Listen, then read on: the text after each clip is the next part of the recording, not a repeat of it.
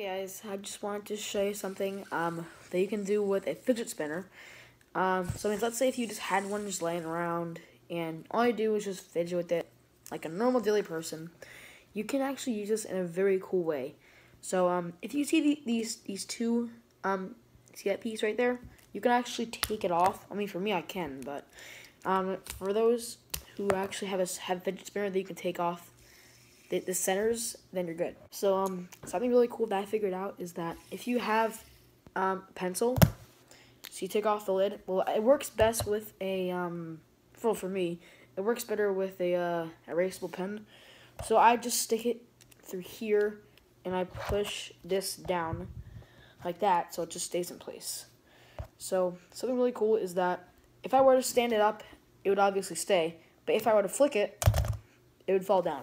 But if I were to spin it, if I were to flick it, nothing would happen. It would just spin around. And if you can also hit it like any way you want. If you can still see on camera, it's still standing. It's like a pretty cool thing that I just found out. So yeah, now I'm sure you can see it. But you can basically hit it. As long as you have a lot of momentum, then it can basically work. And also, um, another cool trick is that, uh, if you were to keep it like this and let go, nothing happens, right?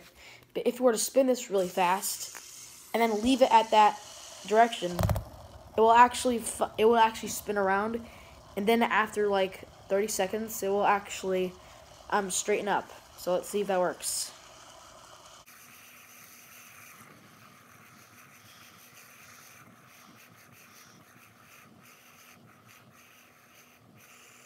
And as you can see, it's now straightening up.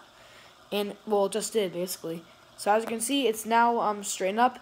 And if I were to stop this... Oh, whoops. It would still be standing because it was still perfectly still. But otherwise, this is a really cool trick that I figured out that you can do with, with your fidget spinner. And also, you, and if you wanted to take it out, put on the cap, like if you have a erasable pen, and then push down, and it should come out, and then you're good. And also another trick that you can do um, with this, with a pen, I think. Wait a second. What was I just gonna do? Oh yeah, and you can also stick it in these holes right here. Ah, dang it. So these would also work as well. And you can just do this if you want. Just spin around. You can basically do anything. Like, there, like there's a lot of different things you can do with these things. You see, taking like a really nice hand coordination thing. It's a nice, fun toy. Yeah, it's pretty cool. Yeah, there are a lot different variety of things you can do with a fidget spinner. If I, I definitely recommend you to get one. Ah, dang it. Oh, shoot, wrong way. There we go, I got it. So, um, if you have a fidget spinner, I definitely recommend you try these tricks. They are so cool. And they're just awesome. And it's so satisfying to play with these things like all day long. Like I can do this all day, honestly. But otherwise, if you have a fidget spinner and if it has a hole in the center, just like this, I recommend you to try to find something that you that, that can fit inside, because this is really cool. It's an amazing experiment.